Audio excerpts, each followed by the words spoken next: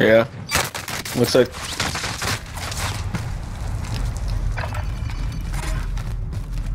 I'm gonna hit zip up there.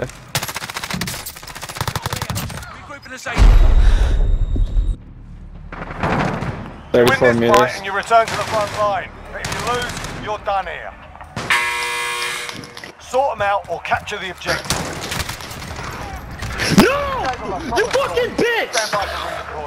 This game is so ass! I'm getting caught on a fucking... Oh my god. How do I not jump over a fucking two foot thing? Teammate has entered the gulag. Surviving earns them redeployment.